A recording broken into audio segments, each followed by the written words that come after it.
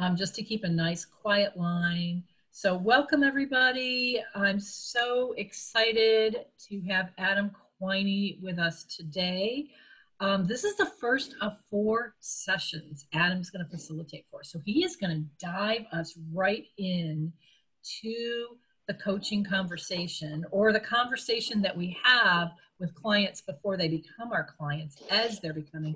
And I think that's the most um, kind of high stakes part of our coaching relationship right there. And so we're very, very excited. We're going to step through the whole thing for you. This is our first call, and our next three calls are all going to be in November. So we're going to have our first call. You're going to have sort of a month to think and digest, and then and then just dive in and make sure that you're signed up for all of the calls in November. But what we are going to do today is we're going to get to know Adam and we're going to get to know a little bit about his journey into coaching and some of the shifts that he's gone through as he's had his own coaching journey that I'm sure many of you can relate to. And then we'll we'll touch a little bit on um, what he's going to be covering in all of our four sessions. And he'll give you kind of an overview of that. And then in the middle, in the midst of all that, though, we're going to be taking questions. So, what I would like to have all of you do is I'm going to start asking Adam some questions and we'll kind of get into it a little bit, but I would like you to all think about what where your curiosity is leading you. What gets you really curious? What do you want to know about Adam? What do you know, want to know about his journey? What do you want to know about the topic? And about, you know, 10, 15 minutes in, we're going to start taking your questions and we're going to make this a really nice dialogue amongst our community. So I'm so happy that you're here and that you're willing to play. And um, let me start by giving you Adam's sort of official bio. All right. So, Adam Quiney is an executive leadership coach specializing in working with the smartest people in the room. A former software developer and attorney, Adams learned the hard way about the costs that come from keeping your heart safe and chasing after external rewards to feel whole and complete. From love, Adam is connection, passion, presence, wit, and brilliance. From fear, he is awkward, robotic, apathetic, irrelevant, and arrogant. He's learned to embrace all these parts of himself and works with others to do the same in their own lives. Living with his beautiful wife and their two dogs, one of which is a cat, in Victoria, British Columbia, he is a man on a mission to bring the world to a more inspired and fully expressed place. So, Adam, um, thank you so much for joining us today. I'm so, so happy to have you. Uh, I, I think what, one of the things I'd love to start with is what got you into coaching? So, I'm, you know, you're software engineer, attorney, um, great professions, not a lot like coaching. So I'm really curious kind of how that journey maybe started for you and maybe some shifts that led you into it. Yeah. Well, first I'll just say I'm I'm excited to be here, and um, thanks everyone for taking the time to show up today. It's an honor to get to spend this time with you all.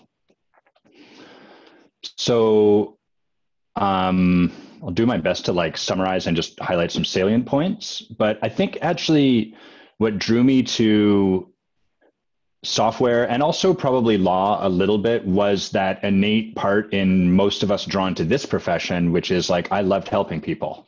And so, on some level, my heart was really in the right place. As a project manager, I got to do more than just write code. I got to make sure that my team was um, recognized and that they were getting their needs met and stuff like that. And um, even though in practice it doesn't always go this way, as a lawyer, you're spending a lot of time, like in a lot of ways, you're almost kind of like the counselor of last resort for your clients. They're so angry and they're frustrated and they feel wronged and powerless, and you're kind of the only person that's listening to them.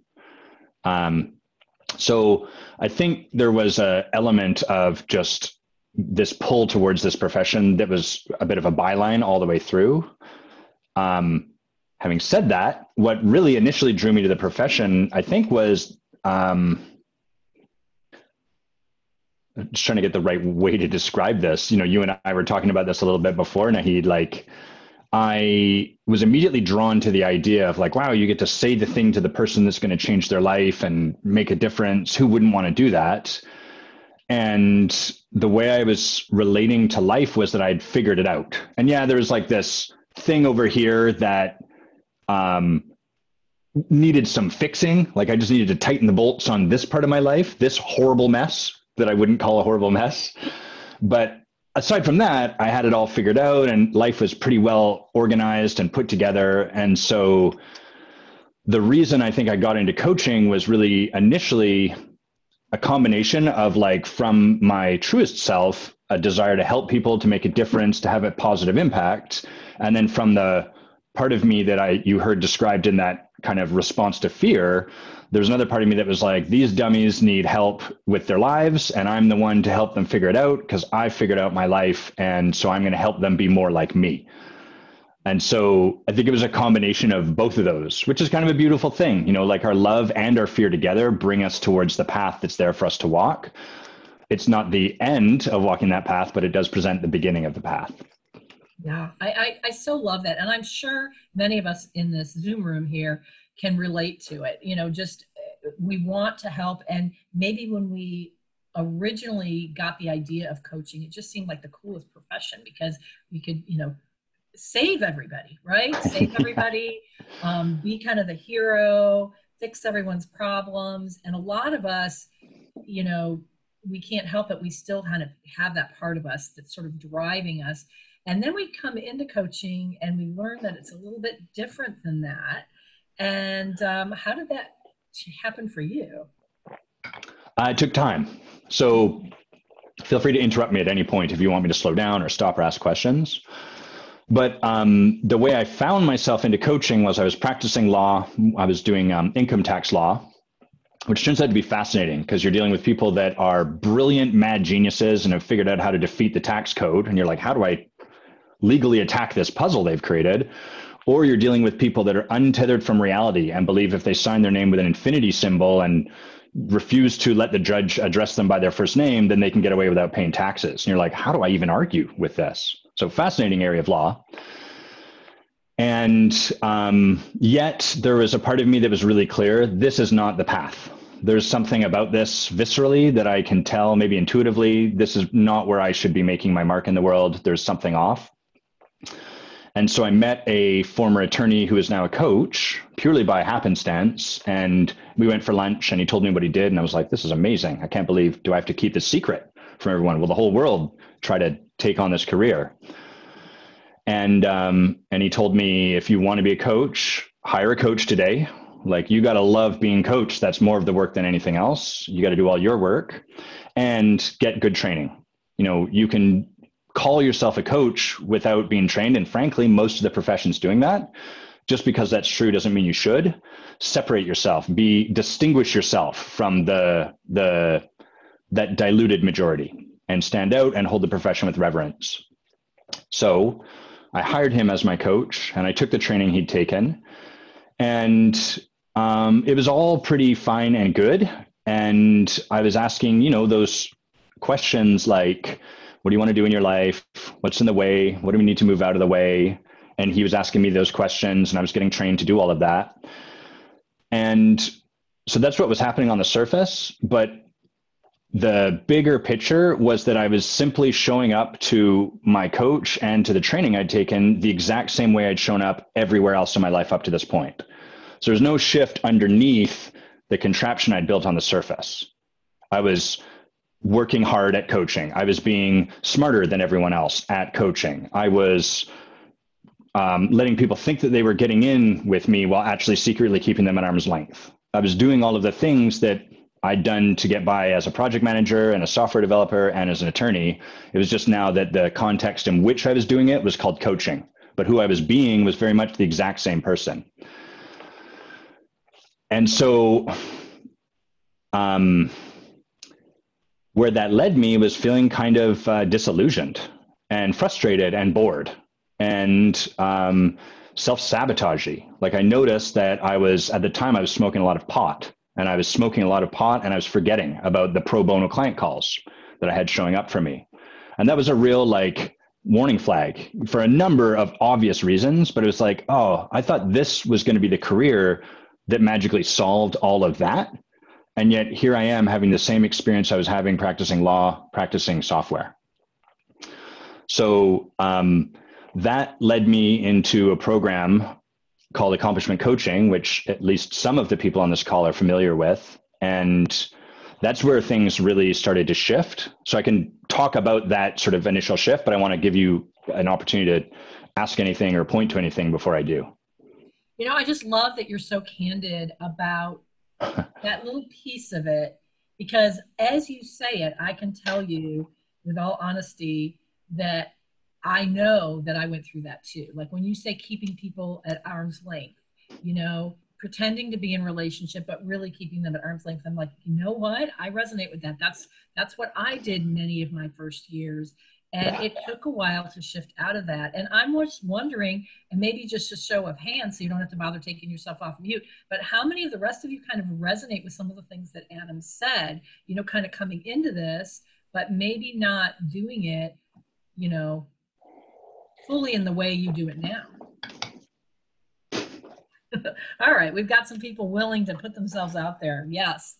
Yeah. So I just wanted to kind of throw that out there because I know that I really resonate and I really appreciate that you said that so authentically because I think a lot of coaches have to go through some significant inner shifts before they can be as powerful as they can be. And I and I'm guessing it's a lifelong process for all of us who commit to this profession. But um, but thank you for sharing, and I'm I'm curious to move on. Yeah. Uh, my coach said to me once I was sharing this is just sort of in in connection with what you said I was sharing with her um, something I a breakdown I'd created and I had some shame I had a bunch of shame around it um, and and plenty of altitude. You know, I've been in this for long enough now. I can see with some altitude, there's still some shame. And she said, you know, Adam, if you had this all figured out, if you weren't making any messes, you'd be no use to anyone. You know, like it's in the breakdowns, it's in the messes where the opportunity for our humanity arises, and that's where people can see themselves in us. And so much of the coaching profession is trying to put this polished, you know, like a statue, this monument out into the world, but we can't relate to a monument. We can't see ourselves which is perfect because that segues exactly to the kind of initial point where I got jostled out of this pattern that I was talking about. So I signed up for this course called Accomplishment Coaching. Um, was quite nervous because it was very expensive and long, and um, it required a weekend every month. And I live in Victoria, so it was a travel down to Seattle and a hotel room. So it was very expensive we were already six figures into debt for my law school, my wife's MBA, and and yet on some level, viscerally, I felt pulled in this direction. And um, the woman I was talking to about it just really got me. She kept listening to my objections, not trying to fix anything about them, and stood for my possibility and asked me if I wanted support and what would support me. And so eventually, I got myself to a yes, and I went down to. Um, to this training for the first weekend, and my attitude was, uh, well, it was a couple things. First, it, I noticed everyone was really weird.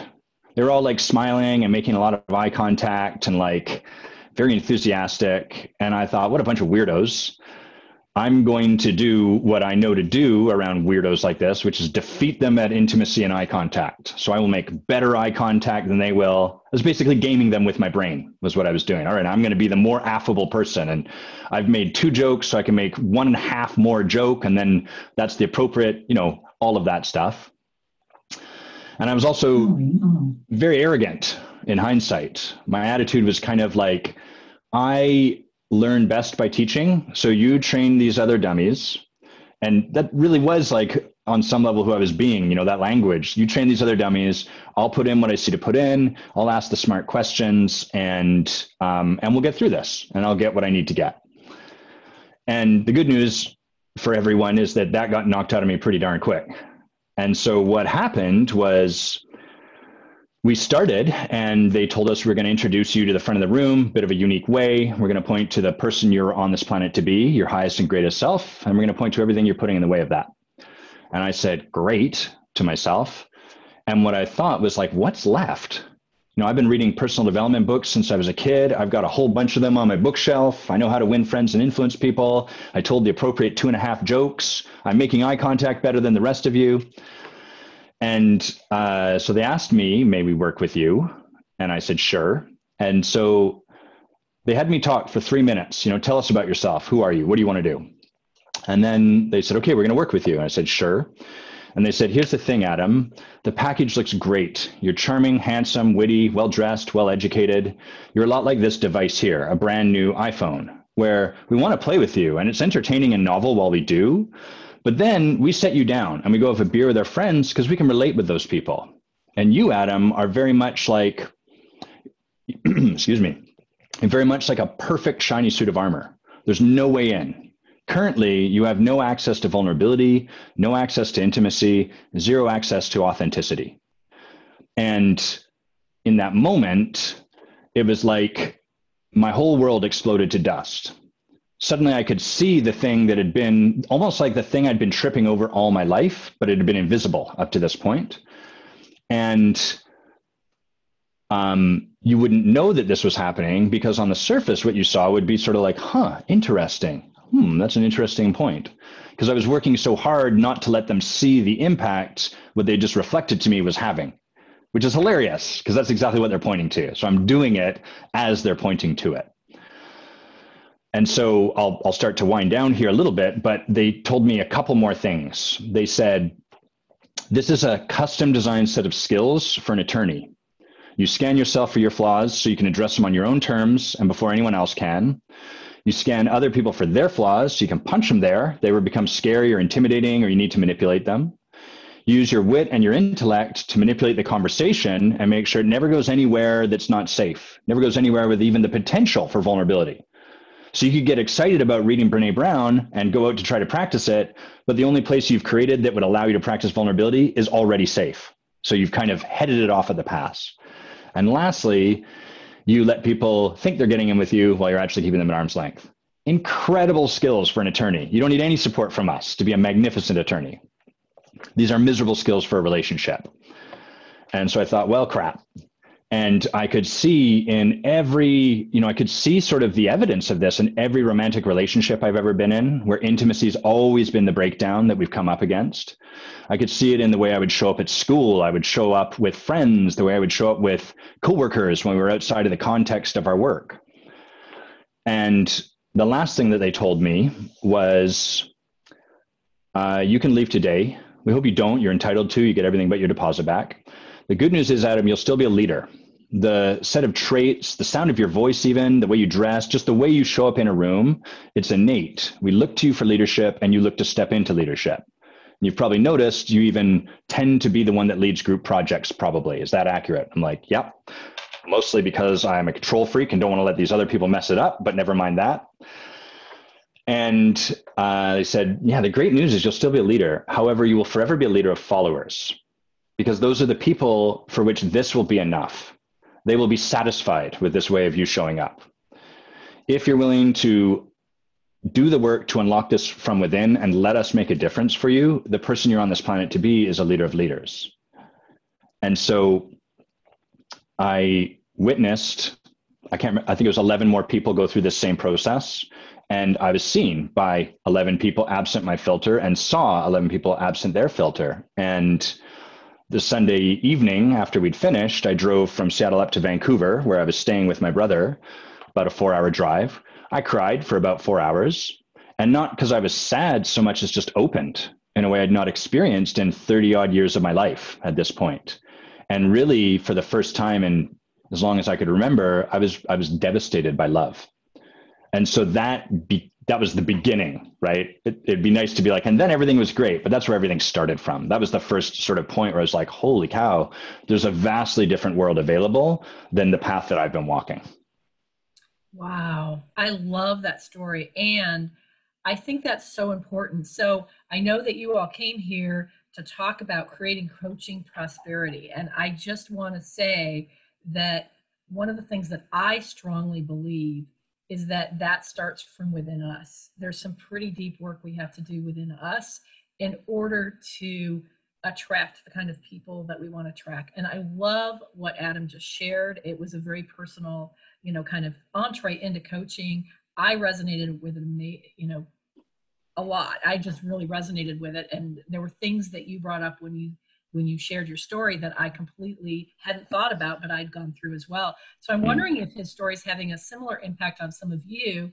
And if anybody would like to, before we move on, to kind of gently move into our topic, um, would anybody else like to ask Adam a question or just share um, what they're resonating with or what's coming up for them as they hear his story? You can just you can raise your hand or take yourself off mute, and I'll sort of juggle you around. Who would like to share with Adam what's coming up for them?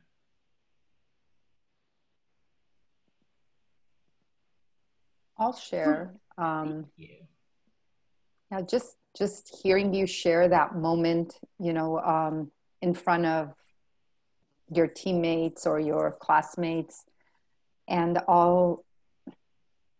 It, it took me back, first of all, but and in addition to that, like, and as you were sharing, I was just getting goosebumps everywhere, which to me is a indication of truth. Um, and and to your point like and to your point nahid like what resonates with me is that you know it's me myself that is often getting in the way of having the life and or the business or the whatever it is that i really really want. And what i mean by me myself is the the ego part of me and myself. That's the part that keeps getting in the way with the relationship with my kids my husband the the, the potential clients that um, maybe i will follow up with but not really stand for what's possible. Just like oh okay you're not ready? Sure no problem. When when uh, two months? Oh yeah no problem. Okay. Like that's what's in the way. And if i can clear that you know it's been four or five years and getting there but not there. So that's what i really resonate with. Thank you for yeah. sharing. And I, I, would agree. I would say everything that holds me back when it comes to business building is my ego the parts that are hmm. still there that i haven't worked through would anybody else like to share something either a question for adam or just something that came up for you as you were listening to his story All right, we will move can, on. Can I speak to that first, Nahid? Yes. There's a, a, couple of things. Like the first thing, I, I really um, thank you, Nanor, for sharing your experience there. And um, the experience you described, right? Like it's my ego getting in my way is so relatable. You know, I think all of us can really like, of course, of course, it's my ego getting my way. It's my ego being afraid, my ego trying to look good, all of that stuff. And and I'm not putting this on you, Nanor, but I notice a lot of we relate to our ego as like this bad thing that shouldn't be there. And what happens, what I see happen is then as coaches, we can fall into this a little bit like, oh, I've got to be beyond my ego, or I got to have my hands around my ego instead of simply owning that we have an ego. And putting it out into the space feels horrible you know, describing the, it didn't feel good just now to describe the arrogance that I was going down to this training with and that it really was relating to people as a bunch of morons. And yet, when we are willing to do the courageous work of just owning that there is a part of ourselves that at times can show up like this, that gives people such an opportunity to see themselves because that's what we're all doing. We're all like, ah, these dummies over here, but I shouldn't think of them as dummies. And so, and then this other person, well, Adam never seems to think of people as dummies. So if only I could be like him. And when we put ourselves into the space and allow the, the vulnerability that comes from owning the parts of ourselves that we kind of wish might not be there, it really creates a clearing for other people to start to take some grace and to be able to acknowledge those parts of themselves. And that's where change can really, st- that's where transformation can really start to happen. So thanks for owning that. The second thing I want to um, provide is actually a context for the rest of this conversation and really for the next three that we'll be having, which is I really get um, it's kind of an edgy thing to put your hand up, or maybe you don't have a question, or maybe it's like, well, I just don't know what is there. And that's totally fine. There's nothing wrong with that. But I notice that often we do that out of fear that we don't have the right thing to say, or we're not sure what to ask, or we're not, uh, I don't have something of value to put into the space, or whatever it is. And the context I want to provide is twofold. First, that coaches are leaders and leaders coach. Coaches are leaders because we have to model the work. A coach that coaches well being and has a complete experience of a lack of well being, people aren't going to hire that coach. It's just, it just doesn't make sense. And so, as coaches, we have to be willing to lead. We have to step forward before we know. We have to model this work. And the the I guess the second fold part of this context is that there's an opportunity to practice your leadership here in this conversation. When Nahid or myself or Nanor or anyone says, "Do you have a question or something to share?" Whatever shows up for you, whether something shows up that might be like, "Ah, I couldn't do that," or uh, "No, maybe I'll let someone else go." That's part of what is blocking your leadership. So I just want to make an invitation for everyone to step into your leadership, be in the practice of stepping out into the discomfort of asking the question, of sharing the thing that might be there to share, because you really have no idea what kind of value you might be bringing into the space. Yeah, here, here. I would say we've had some of our richest, richest conversations on these calls as people have started to engage. So I know it can be scary. We're talking about pretty deep stuff here, but I really appreciate that. So, Adam, let's begin to bridge to what we're talking about in these four sessions, which is creating coaching prosperity, which means having a relationship with a prospective client in a way where we can sell. I know like what the one thing that really resonated with me when we invited you to speak was something you said about the conversation with a prospective client.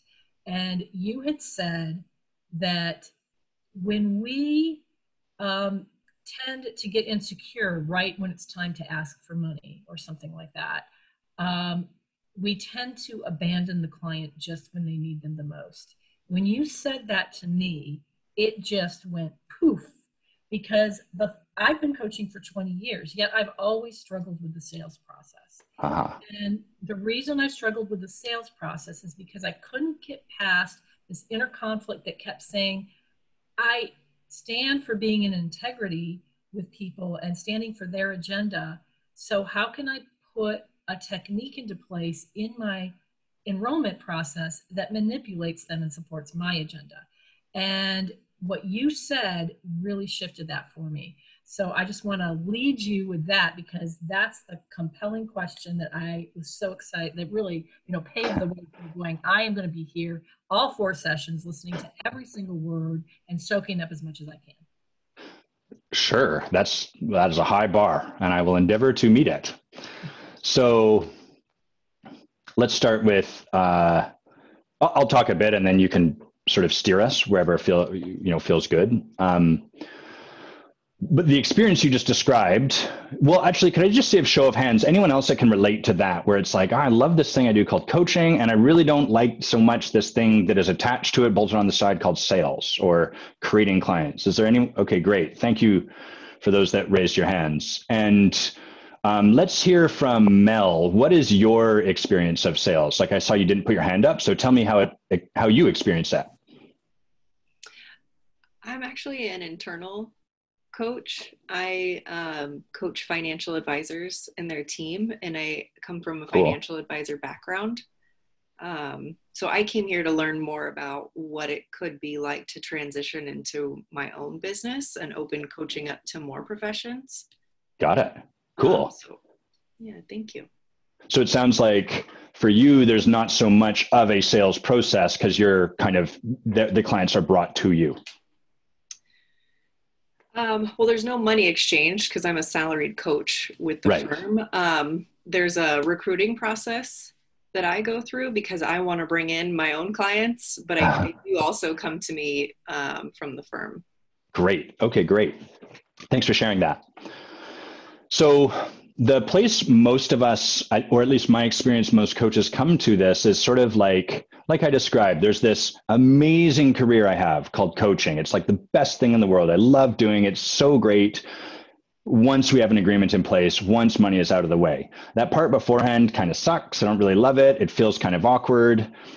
And the the place that we tend to get stuck is often some flavor of okay, people have fear about hiring me as a coach and now I want to honor what's showing up for them and at the same time, I know that if they work with me, something magic will happen, but then they're kind of like a no, not now. And so, how do I possibly square that circle?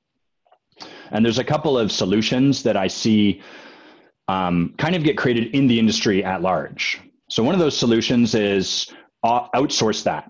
So you hire someone to make you a funnel system, or you hire one of these people that keep adding me on LinkedIn that are like, I help clients get six figure, actually, six figures is no longer in vogue. Seven figures is the new number. I help clients get seven figure leads effortlessly without blah, blah, blah, blah. Um, so there's kind of this approach like outsource that so I don't have to do that work and I can just get the leads and then I can get sooner to the work that I love of coaching. Um, the other one is to simply kind of avoid it altogether. So this isn't to say this is why you found yourself what you're doing, Mel, but there's like by going in house or something like that, we kind of get to not have to so much go through that sales process. We don't have to meet people. We don't have to be in a conversation. We don't have to support them to overcome the objections that they've got, the fears about money or whatever.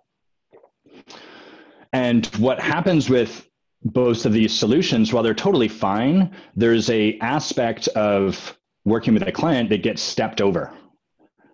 And both of those are kind of like an approach that I, I want to be clear. There's nothing wrong about those approaches, but underlying them often is like a way of avoiding having to be with that thing that's kind of edgy for us. And when we avoid being with something, we also avoid the breakthrough that might be available if we were to really be with that thing. Can I just get some nodding heads or something to indicate you guys are okay? People understand, they're with me. Okay, great. Gregory, is this like you're nodding your head sort of forward and back for me? Okay, bit, bit, bit of both. Okay, cool.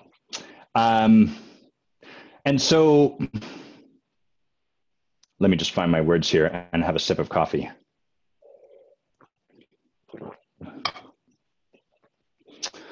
The, the other place that um, people come to from this, so there's one which is to avoid the thing. The other is to sort of adopt this attitude like, hey, I, I know that if the client gets into work with me, I know that if I get them into a paid coaching agreement with me, their life will shift. There is benefit on the other side of this fence.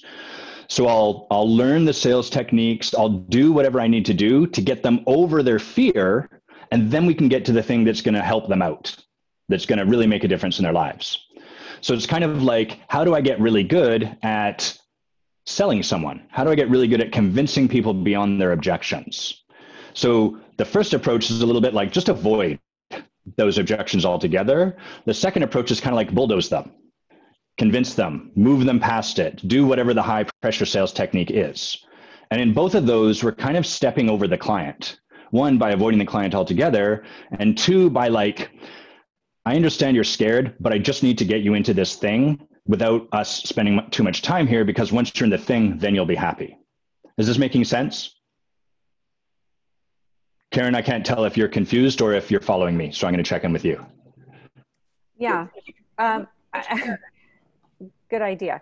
I'm I'm not confused. What I'm thinking about is, I mean, I hear what you're saying. You can outsource. I get a lot of those emails, all that good stuff. Yeah. I do coaching in large corporations. So I need to interact with the key decision maker, and it's usually the HR person. And I'm not afraid to have that conversation. What I'm noticing, especially since COVID, because these are HR people, their heads are spinning on their necks. They're trying to figure out how to safely bring people back to work, not bring, bring people back to work. I mean, just there's so many issues. I'm having trouble even getting them to connect with me. Got it. So Great. I, so I hear all the things you're saying, and I have been in the past very afraid. And I think I've really been pushing through that. Nice. And I'm at a place where it's like, yeah, let's let's talk about it. I, I don't need to sell you on this. Let's just let's talk about it. Let's talk about what it is and you know how it works and get them curious and get them engaged. So I'm tracking with you and I'm kind of on my own little page. Yeah. Yeah, you're a little bit further along than the the the initial foundation I'm setting. So that's great. Thanks for sharing that. And I think we'll in future conversations come around to that. Mm-hmm. And I also realized that there's two Karens on this call. So thank you, Karen Holmes. Karen Gifford, I also wanted to hear from you and just see what's there for you as I speak about this. Uh, well, first of all, thank you for being here. Um, I've been impressed by the ICF Orange County chapter and joined because of the great programming that they have, and you're certainly at top of that list today. So thanks. Thank you. And thanks, Nahid and Nanor, for, for all that you do to make this stuff happen. Um, and everybody else on the board too, Greta. I mean, there's so many people that I, I could be grateful to. So um, I, I, my uh, own observation around the selling process is that sometimes we as coaches, this is more of a check-in that sometimes we as coaches don't really think about our own sales processes. In other words, what do we need to be sure we've got a, a client that we want to serve? That we are, we have a, a process that we say, yes, I want a client who one wants to be coached, who has the time to coach, who has, you know, what is our checklist that we need to take them through to be sure that they're a fit for us. And I see sometimes that um, even with internal coaches that I've had a chance to, or internal coaches and internal HR people, when I get a chance to work with them, I find that they haven't thought about that. And so it's it's one of those things that as I'm listening to this, I'm wondering if other people have a have a process around that themselves. So it's more of me like, okay, am I the only one who's been doing this, or do other people have it? And two, what's been your experience in that, and has it served you or or not, or have you not even thought about it? Great question so I'm gonna and and thanks for speaking. It was it was surprising because at first I called on you and then I heard you speaking, but your lips weren't moving, and then I realized there was a second Karen. So I'm glad that we've resolved that. Um, I will speak briefly to that and then bring us back. So like it sounds like what you're describing is before I even get to the point where it's like, does this person want to work with me and how do I support them to work with me? If so, there's kind of this other conversation like, well, do I want to work with them? Is this my kind of person? So, absolutely, there's like a conversation around that and where i'm kind of um, starting the conversation off based on what nahid has mentioned is really that point where we've realized okay i want to work with this person i'm a yes to them and i think they're a yes to me. And then what happens is their objections show up. We all have objections like ah you know i really want to do this. It's just a bit too expensive. Or hey covid struck and now it's just not the time. Or hey i just don't have time right now. My life's a bit of a mess. Or my husband doesn't want me to do this. Or my wife doesn't want me to do this. Or i've got to you know whatever. But there's some kind of objection that shows up. And so really just to finish setting this context for kind of like the conversations going forward what i notice tends to happen is one of those two things as a default broad generalizations but we tend to either collapse into the client's objection which would be sort of like oh i totally get it. No worries. I understand. Not now next month whatever it happens to be or we try to bulldoze them which is okay yeah i got that but let me try to convince you why this is worth the money or hey let's look at your calendar and figure this out so there's there's that paving over them to get them into the coaching and then we can empower that because we're like, well, at least I know if they get into the coaching, then things will get good. Even if this part right here feels kind of crappy, later on it'll be good and they'll thank me for it. Or we collapse into it. We avoid going into the heart of the matter with the client. So, just as like a, a broad general distinction of the kind of two places we can show up when our clients have objections, does this make sense to everyone? Okay, great. Is there anyone totally lost at this point? Yes, Karen. I'm not I'm not lost. I'm just okay. noticing that in coaching, I think the person has to have a desire to be there. Yes, absolutely. And it's really not enjoyable or fruitful in my experience to try to coach people that are not open to it. I mean, personally, I don't want to do it because that, that's like a fixture upper, you know? Can I, can I ask you a question? Yeah. So how does that relate to what I've just pointed to? Well, you were saying if you can just get them into the coaching agreement, then everything will be great. Right. And my experience has been that that is a, a bit of a fantasy. yeah. Right. You get them in, everything's going to be great. And, you know, I've had them in and I thought, oh, this is really terrible. yes. Yeah. So, so I that's just. You're, um, you're 100% right what you're pointing to. And so. Oh, and somebody just said in the chat non-coachable people is not the issue. Jackie. Yeah. So. Oh, maybe so I'm, gonna, I'm, off point. No, you're, well, you're doing fine, Karen. You're doing great. It's it's more that where we're looking just as a starting point is the sales process itself. And what you're speaking to is really one of the objections coaches often have. Like, well, if the person's a no, I don't want to travel this path. I'm not going to go down that path. And what tends to happen as coaches is as soon as we hear an objection, as soon as we hear, I'd love to do this, I just don't have time, that becomes a concrete no end of the story. And then we're like, I don't want to coach them because they're going to be uncoachable, blah, blah, blah, blah, blah, blah, blah. So all oh, I'm no, doing I is, would say, I would say, what else is getting in the way? And I would just take all of their objections. I, I, got it. I totally got it. Yeah. I, I just anyway. want to be clear. Like, my intention here is to set a really broad base and offer two places people tend to go in the face of a client's objection. Okay. And and show that there's they're both ways of avoiding being with the client.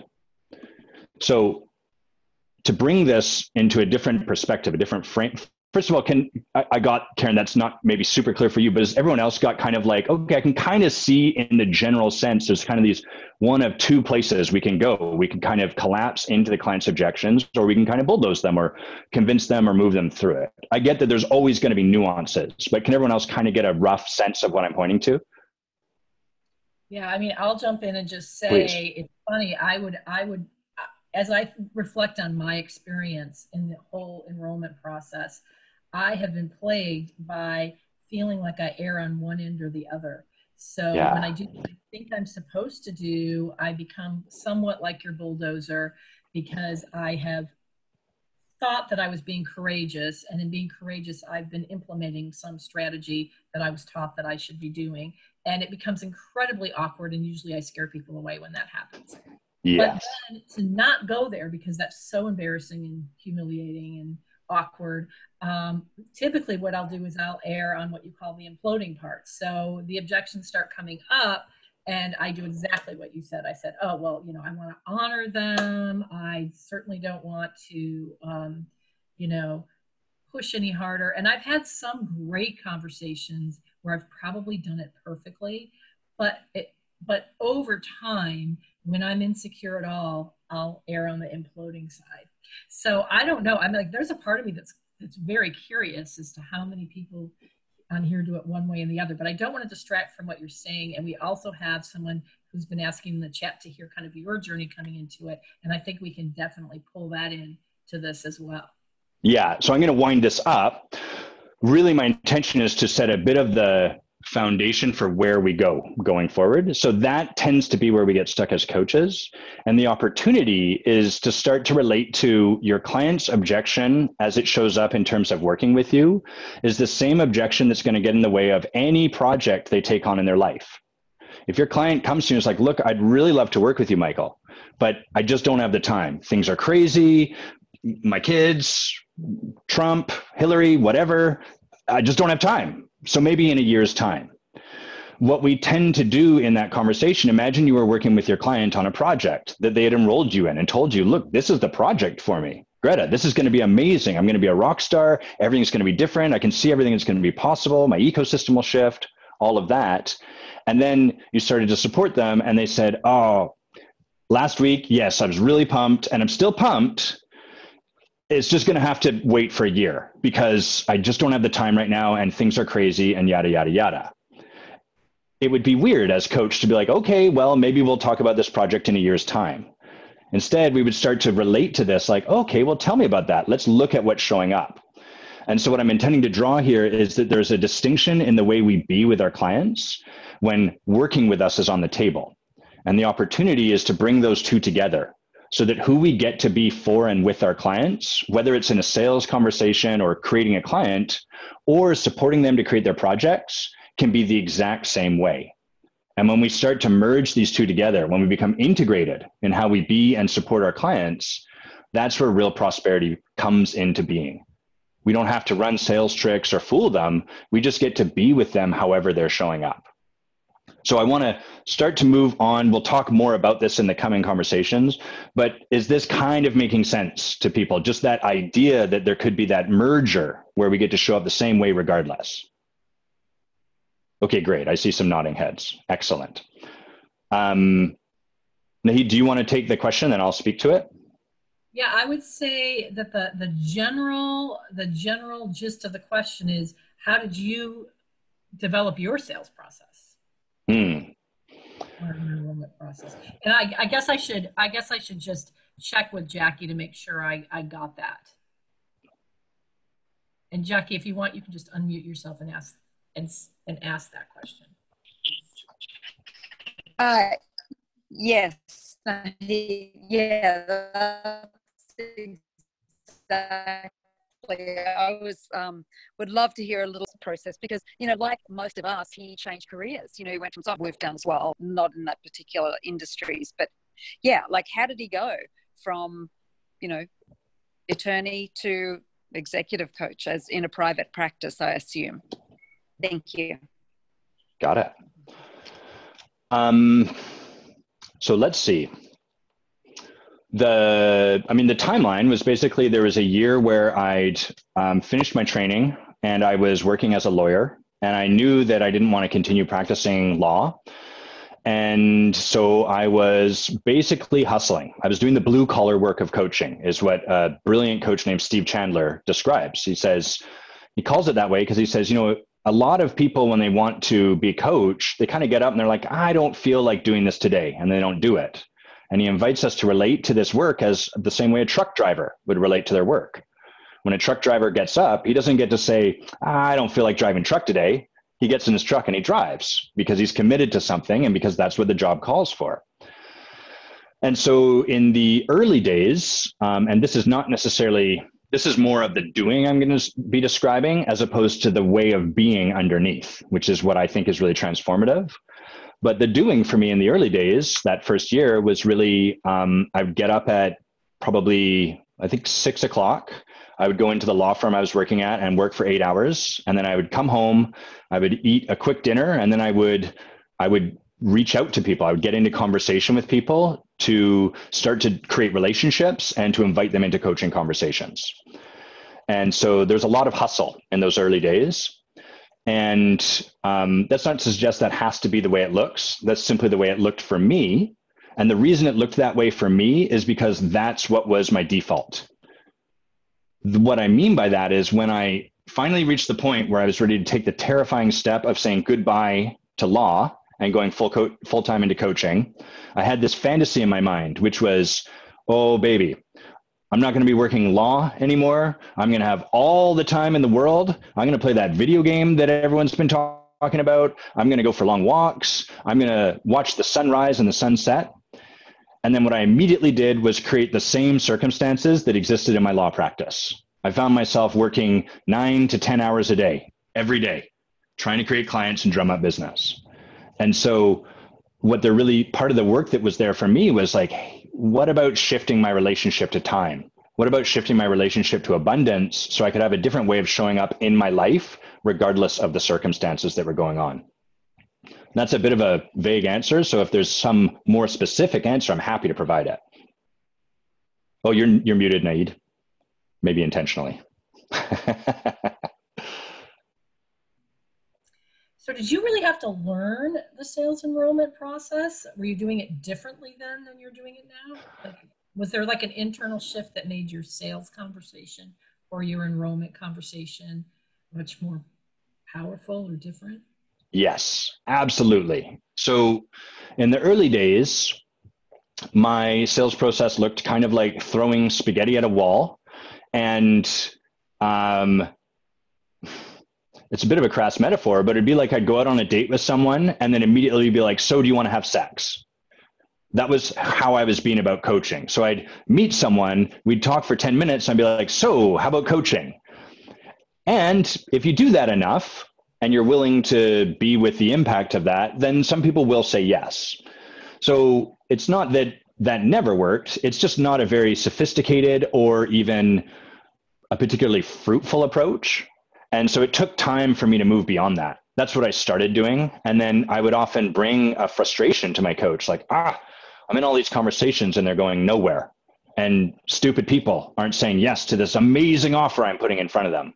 And so at that point in my in my growth, I really had to learn first how to just connect with a human being. Because I wasn't doing that at all. I was talking to someone as a means to an end, and the end was to get them into a coaching conversation which feels crappy for both people. And so first I just had to learn how do I just be in a conversation with someone where we're connecting? And then the next this kind of gets into the, the the six steps required to create a client. You know, once I was connecting with people, I had to learn how do I actually create possibility with people as opposed to just connecting. What a lot of us do initially is we'll meet someone at a networking event and we'll talk about the wallpaper or the weather or politics or whatever is like the easy default conversation that the whole world is having because it's not edgy and it's comfortable and people will meet you there because that's where we meet everyone. But that's kind of been like the way I would be showing up was kind of if you and I talked and complained about something for a half hour and then I said, thanks for complaining about stuff for a half hour. Want to have a coaching conversation? So even though we're now connecting a little bit, there's no reason for someone to say yes to a coaching conversation. So next I had to learn how to actually get curious about the possibility that might be available in this person's life outside of what they're already reliable for. There is a path that people are on that includes some stuff they have not yet created, but they're already reliable to do. What I mean by that is when I was practicing software, I was completely reliable to get into law school, to succeed at it, and to become an attorney. I didn't need outside support. There was no breakthrough required for me to make that happen in my life. But to have an experience of an open heart and be connected with God and spirit and to really love people beyond them being useful to me, that was totally unpredictable for me. And as we start to develop, and I had to learn to develop the ability to get curious about and ask people about and develop their possibility in a conversation, now they have a reason to say yes to a coaching conversation now they're like, holy cow, I've never actually thought of that in my life, but that sounds amazing. And now we can start to be in a conversation with them like, look, that's what I do with people. Do you want to have a conversation about that? I think it'd be fun for me, and I'd love to support you in that. My gift to you. So these are just the first three steps. I had to, I didn't have to, but I bungled my way through these very effectively. And um, I'm, conscious of time. I can share more about it if, if that's where we feel called to go, but uh, happy to share more. But that's kind of the initial set of stumbling around that I had to do. Love it, love it. Hmm. Um, Adam, do, as we are getting close to um, our time here, would you be willing to kind of give us an overview of what to expect in the next three classes? And then if we have time, um, we'll get a few gems from the room. And for those of you who don't have the time, you might want to just like type in the chat box what you're taking away because we really want Adam to hear your gems. Jackie AQ is me, Adam Quiney. Um, so we're uh, kind of main things, and and this is a little bit flexible. You know, depending on where the group is and what is called for, we can adapt all of this. But the next time we'll lay out the six steps of creating a client. These aren't like rigid things you have to do. This isn't a funnel system. This is basically a process of deepening intimacy with our client. And what I notice happens for most coaches is we get fixated on proposing to them or getting them to say yes to a coaching conversation. And what that has us do is totally lose sight of everything that has to come before that. Sort of like if you were a baby and you wanted to learn how to run, the first thing you have to do is learn how to crawl. but it's like we're all babies and we're fixated on getting that gold medal and it gets us all tripped up and we can't seem to just learn the steps naturally. So we'll go through the six steps. Those are connection, possibility, invitation, coaching, proposing, and supporting the yes, getting the client to the yes. Um, the that'll be the next conversation. The conversation after that will spend mostly on working through objections, and that might be where um, we also have some time to talk about what Karen Holmes brought forward, which is more of a corporate HR kind of context. But either way, really that conversation where the client's got something in the way and rather than bulldozing them or just collapsing into it we be with them in that and so and give them that first really powerful experience of coaching before they've even hired us which i think is magic and miraculous and then the third conversation will probably be more this one is a little more flexible and fluid but one of the places i think might be really cool to look is at a niche that really sets your client's heart on fire. Because often what we do is we look at a niche based on someone's identity, sort of like gender, color of their the race, et cetera, et cetera, or based on what they're doing, which is totally fine. But there's a much deeper level at which we can connect to the heart of our clients and really speak to them in such a way that they're like, holy cow, there's no one else in the world but you for me. Can we talk? So those will be roughly the three conversations, and it's all open to um, to fixing or to changing. Excellent. Adam, really quick, if you can repeat the six steps Yes. I want to share a takeaway. Great. And I will also say I've got a um, handout, an infographic that has all these six steps um, laid out that I will give to you, Nahid, and then you can share it with everyone.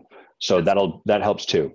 The six steps are connection, uh, possibility, invitation, coach, propose, and then support the yes. And that handout will make them all a little more clear, as will our conversations. Excellent. Well, I am so looking forward to all of our sessions in November. And I'll just say, you know, one of my big takeaways, and this is something that I've always believed, so I guess I would say it's a validation, but I absolutely passionately believe that coaching is a unique profession. And in order to be really successful at it, you really have to be committed to transforming yourself. And the encouragement that I got today is some of the work that I'm doing right now to transform myself, I can already see that it's supporting my ability to sell more effectively. Does anyone else have a quick gem that I'd like to share with Adam? A great takeaway? Um, a takeaway to create abundance from Greta. Thank you. Anyone else before we wrap up? I would just say thank you, Adam, um, for uh, just the authenticity and the openness that you come to it with and not making it salesy or anything like that, right? Because that's our thing that blocks us. yeah. but, but, what it really reminded me of is, um, and I thank you for this, is to stay committed to um, the intention to relate to the person sitting across and remain in that relatedness, mm. human to human conversation, you know. And so, you know, thanks for that re- reminder. I appreciate that. Beautiful. Thank you. I got something just from you sharing that. Love that. And um, as you may see, Adam, the, the chat's lighting up. I know we're, we're a little bit past our time, so I think a couple people have to get off. But if you'd like to stay for just a couple minutes and, and share your takeaway in person with Adam, please do. And um, anyone else, but for the rest of you, thank you so much and look forward to seeing you at the next one. And we will follow up with that handout. Yes. Yeah, go ahead and unmute yourself. Anybody would like to share any goodbye or thank you for Mike. I said Michael, I meant Adam. Karen, I, oh, I was going to say, I can see she wants to say something, but. Okay. All right. Well, I think Thank we're you, done. Adam. That was awesome. Thanks, awesome. everyone. Okay, so thank you, everyone. And um, well, we'll be talking back and forth with you, Adam. Yes. Uh, move forward and plan the next ones in November. Um, I love that. And um, we'll debrief later. Thank you so much, everyone. Bye-bye. Bye, everyone. Thank you, Adam. Thank you, Nahid.